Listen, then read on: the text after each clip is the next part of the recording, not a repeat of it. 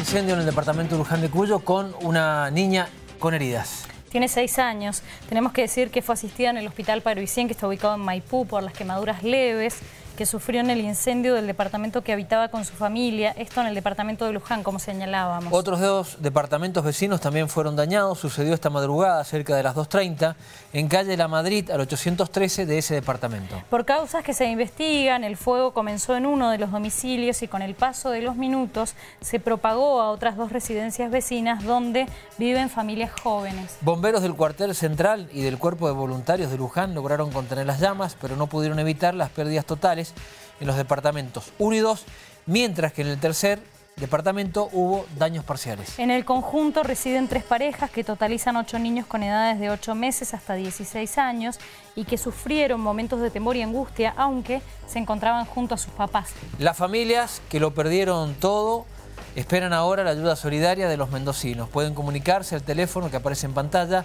261 59 49 589.